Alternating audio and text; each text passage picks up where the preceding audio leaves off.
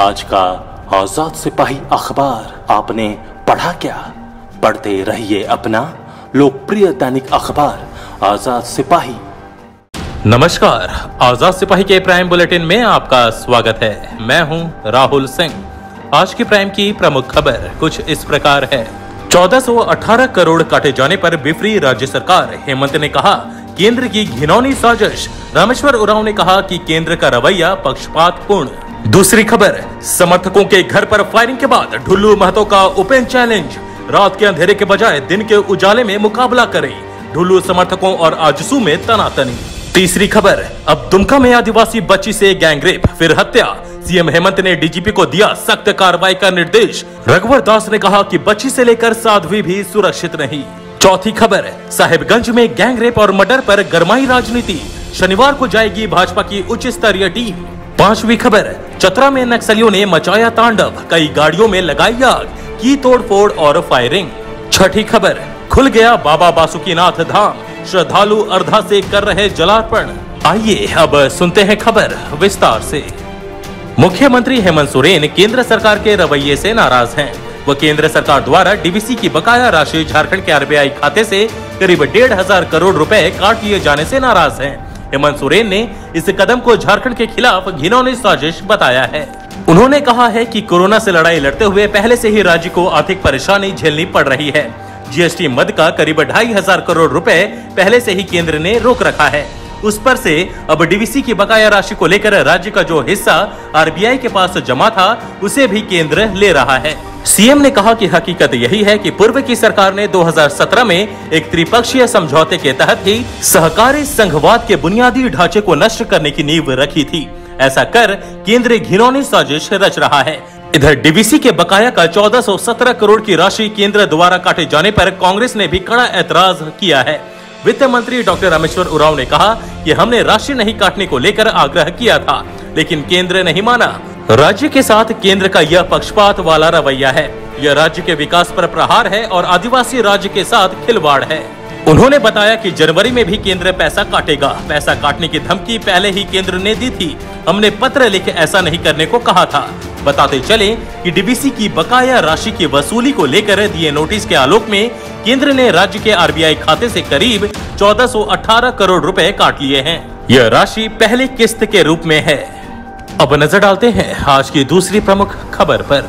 बाघमारा विधानसभा क्षेत्र के लोयाबाद एरिया के एकड़ा में विधायक ढुल्लू महतो के प्रतिनिधि दिनेश रवानी और उनके समर्थक शिवा दास के घर पर गुरुवार रात गोलीबारी और बमबाजी हुई। अपराधियों ने विधायक प्रतिनिधि और उनके समर्थक के घर के दरवाजे पर कुल्हाड़ी से वार भी किया, पत्थरबाजी भी की गई। आशंका जताई जा रही है कि वर्चस्व कायम करने और दहशत फैलाने के उद्देश्य से फायरिंग और बमबाजी की गई है। घटना की सूचना के बाद मौके पर पहुँची पुलिस को तेरह गोलियों के खोखे दो ज़िंदा गोली और बम के अवशेष मिले हैं। बताया जा रहा है कि अपराधियों ने 30 से 40 राउंड फायरिंग की है। घटना की सूचना पाकर विधायक ढुल्लू महतो शुक्रवार सुबह घटना स्थल पर पहुँचे। उन्होंने कहा कि कायरों की तरह रात के अंधेरे में घटना को अंजाम दिया गया है। हिम्मत है तो दिन के उजाले में आकर मुकाबला करें। उन्होंने कहा कि ज़िले में विधि व्यवस्था की स्थिति लचर है। इसके लिए जिला प्रशासन और पुलिस भी जिम्मेवार है। बताया जा रहा है कि बाजेपुर कोयलेरी डंप में कब्जा को लेकर आजसू जिला अध्यक्ष मंटू महतो और बागमारा विधायक ढोलू महतो के समर्थकों के बीच पिछले तीन महीने से टकराव हो रहा है। घटना को इसी से जोड़कर देखा जा रहा है। लोयाबाद एरिया के इकड़ा में मंटू महतो के समर्थक ज़्यादा, जबकि ढुल्लू महतो के समर्थकों की संख्या कम बताई जा रही है। रात करीब 10 बजे शिवा दास और करीब 2 बजे दिनेश रवानी के घर पर गोलीबारी और बमबाजी हुई। इसका आरोप मंटू महतो के समर्थकों पर लगाया गया है। अब नज़र डालते हैं आज की तीसरी प्रमुख खबर पर। दुमका के रामगढ़ थाना क्षेत्र में 12 साल की बच्ची के साथ गैंगरेप का मामला सामने आया है। बताया जा रहा है कि पीड़िता पांचवी क्लास की छात्रा थी। वह गाँव के ही मध्य विद्यालय में पढ़ती थी।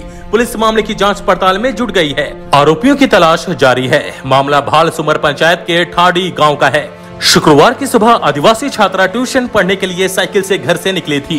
काफ़ी देर तक घर नहीं लौटने के बाद परिजनों ने उसकी तलाश की।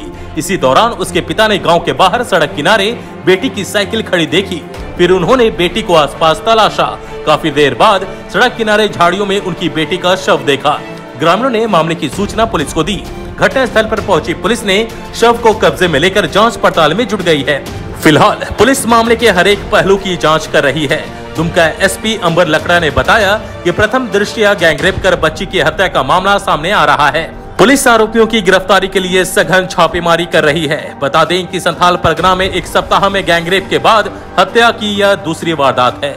इससे पहले साहिबगंज में पिछले शुक्रवार को ही एक नाबालिग के साथ गाँव के ही पाँच लड़कों ने गैंगरेप कर हत्या कर दी थी।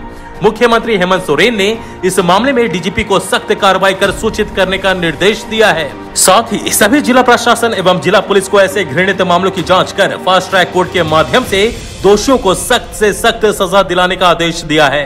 उधर भाजपा के राष्ट्रीय उपाध्यक्ष रघुवर दास ने कहा कि राज्य में चार साल की बच्ची से लेकर सातवीं तक सुरक्षित नहीं है।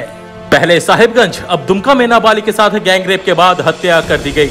अपराधियों का मनोबल काफ़ी बढ़ा हुआ है। राज्य में दुष्कर्म और बच्चियों की निर्ममता से हत्या की घटनाओं में वृद्धि हो गई है। अब नज़र डालते हैं आज की चौथी प्रमुख खबर पर।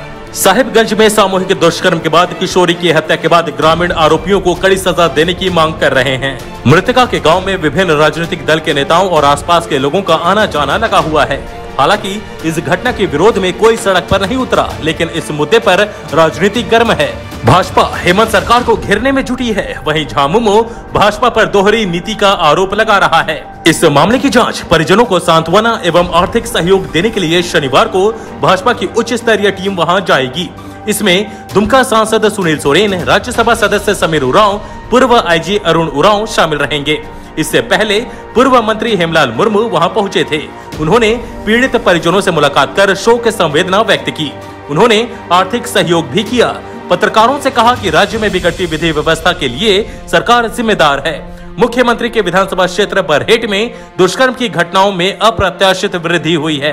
केवल सुंदर पहाड़ी प्रखंड में चार घटनाएँ हुई हैं। मुख्यमंत्री को इसे संज्ञान में लेना चाहिए। हेमलाल मुर्मू के गाँव में जाने की सूचना मिलने के बाद झामुमो जिला कमेटी के पदाधिकारी भी वहाँ पहुँचे और पीड़ित परिवार का कुशल छेम पूछा। साथ ही हर संभव सहयोग का आश्वासन दिया। मामले में त्वरित कार्रवाई पर पुलिस की सराहना की। इन नेताओं ने कहा कि हेमंत सरकार में भी इतनी जल्दी कार्रवाई संभव है। बरहेट विधायक हेमंत सोरेन के प्रतिनिधि पंकज मिश्रा ने कहा कि उत्तर प्रदेश की घटना पर भाजपा चुप है, लेकिन यहाँ शोर मचा रही है। पार्टी की दोहरी नीति को जनता जान चुकी है। नबाली के साथ हुए सामूहिक दुष्कर्म पर भाजपा राजनीति कर रही है। अब नज़र डालते हैं आज की पांचवी प्रमुख खबर पर।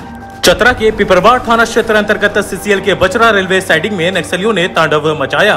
नक्सलियों ने साइडिंग पर पहुंचकर तोड़फोड़, फायरिंग की और कई वाहनों को आग के हवाले कर दिया। घटना की जानकारी मिलते ही एसपी टंडवा, एसडीपीओ दलबल के साथ मौके पर पहुँचे। बताया गया कि उग्रवादियों ने साइडिंग पहुँचते ही तबतोड़ फायरिंग शुरू कर दी। फायरिंग होते ही सीसीएल कर्मी और मजदूर भाग खड़े हुए। इसके बाद उग्रवादियों ने मौके पर खड़ी गाड़ियों को आग के हवाले कर दिया। घटना के बाद पूरे इलाके में दहशत का माहौल है। एसपी ऋषभ झा ने कहा कि घटना के हर पहलू की जाँच की जा रही है। घटना को अंजाम देने का शक पीएलएफआई नक्सलियों पर किया जा रहा है, क्योंकि पूर्व में भी पीएलएफआई नक्सली ने साइडिंग के कांटा घर पर बम फेंक कर दहशत फैलाया था। अब नज़र डालते हैं आज की छठी प्रमुख खबर पर। विश्व प्रसिद्ध बाबा बासुकीनाथ धाम शुक्रवार से श्रद्धालुओं के लिए खोल दिया गया है। श्रद्धालु अर्धा के माध्यम से जल अर्पण कर रहे हैं। देवघर के तरह बासुकीनाथ धाम में भी अर्धा लग जाने से श्रद्धालुओं सहित स्थानीय पंडा, पुरोहित और दुकानदारों में काफ़ी खुशी देखी जा रही है। दरअसल 8 अक्टूबर से पूरे देश में श्रद्धालुओं के लिए मंदिर खोले जाने के बाद बासुकीनाथ धाम में श्रद्धालुओं के दर्शन के लिए कोई ढील नहीं दी गई थी। ऑनलाइन रजिस्ट्रेशन के माध्यम से दिन भर में 160 श्रद्धालु ही बाबा बासुकीनाथ का दर्शन कर पाते थे। देवघर की तरह बासुकीनाथ में भी अर्धा लगाने की मांग पंडा पुरोहित सहित स्थानीय दुकानदार लगातार कर रहे थे। बीते दिनों उन्होंने इसे लेकर प्रदर्शन कर प्रशासन को अल्टीमेटम भी दिया था। उनकी मांग को देखते हुए मंदिर प्रशासन ने देवघर की तरह यहाँ भी अर्धा के माध्यम से प्रतिदिन एक हज़ार श्रद्धालुओं को दर्शन कराने की अनुमति प्रदान कर दी है। इसके साथ ही कोरोना के सभी नियमों का पालन का निर्देश भी दिया गया है। कोरोना के नियमों का पालन नहीं करने के बाद फिर से पुराना नियम लागू कर दिया जाएगा। आज के आज़ाद सिपाही के प्राइम बुलेटिन में बस इतना ही। देश विदेश की तमाम बड़ी खबरों के लिए आप पढ़ते रहिए अपना लोकप्रिय दैनिक अखबार, आज़ाद सिपाही। और हाँ आप हमारे इस यूट्यूब चैनल को ज़रूर सब्सक्राइब करें। धन्यवाद।